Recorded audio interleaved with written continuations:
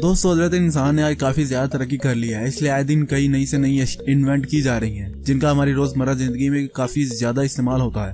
लेकिन इन्हें किस तरह बनाया जाता है, इस बारे में हमें कुछ भी मालूम नहीं होता।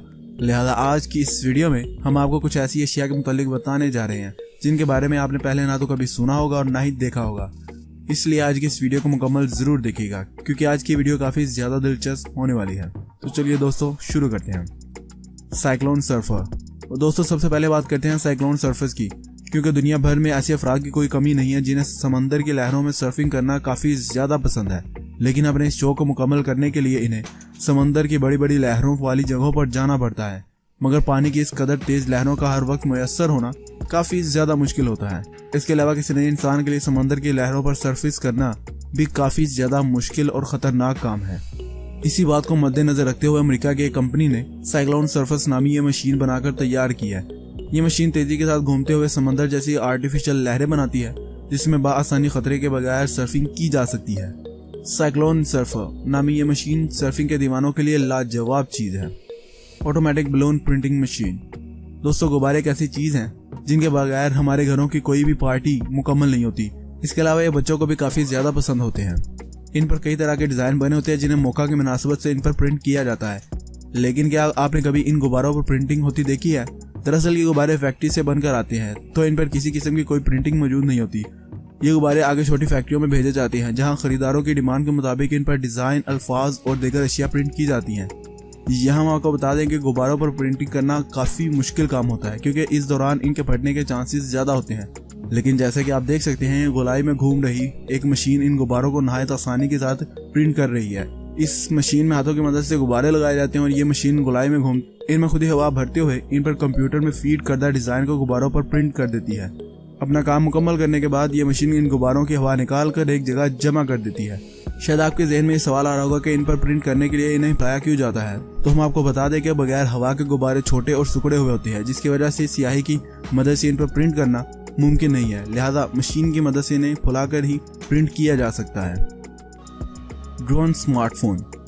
दोस्तों बात करते हैं ड्रोन स्मार्टफ़ोन के बारे में, जिसे एलजी नामी कंपनी ने बनाकर तैयार किया है। आपको शायद ये जानकर काफ़ी ज़्यादा हैरानी होगी कि ये मोबाइल किसी ड्रोन की तरह हवा में उड़कर आपकी मनचाही जगह पर जाकर आपके तस्वीर और वीडियोस बना सकता है।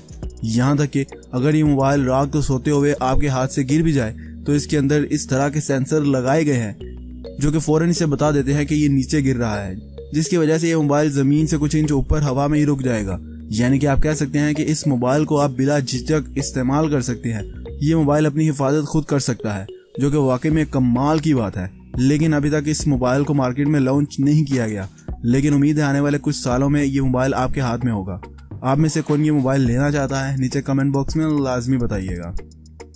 ए आई लेजर दोस्तों, अब बारी आती है दुनिया की सबसे बेहतरीन ए आई लेजर मशीन की, जिसकी मदद से आप पुरानी से पुरानी चीज़ को भी एकदम नई शक्ल दे सकते हैं। दरअसल ये लेजर मशीन अपनी तेज शुआओं की मदद से किसी भी चीज़ पर से जंग मिट्टी और गर्द वगैरह को एक साफ़ करके इसे एक नई पहचान दे सकती है। ये मशीन काफ़ी कारआमद है।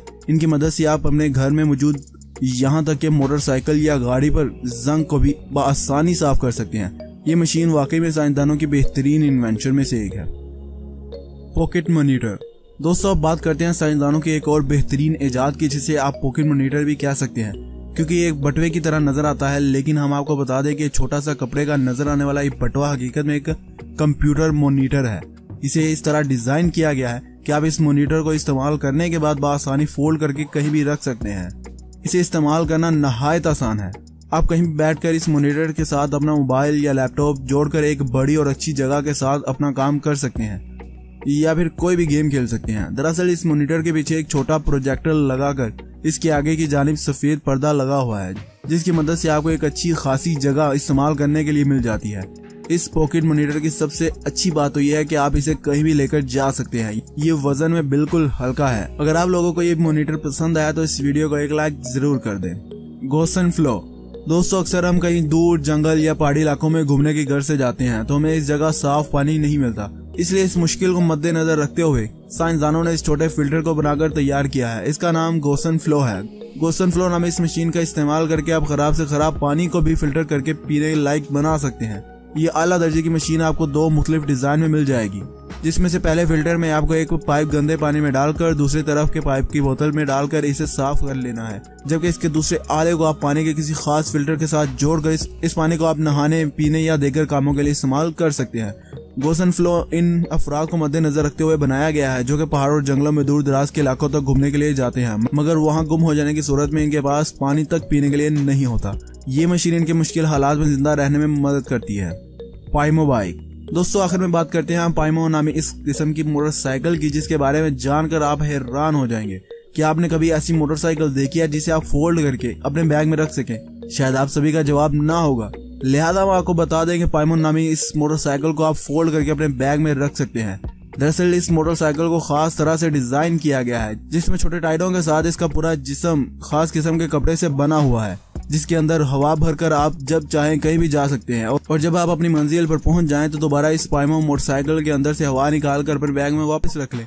लेकिन इस मोटरसाइकिल पर महज एक शख्स ही सवारी कर सकता है।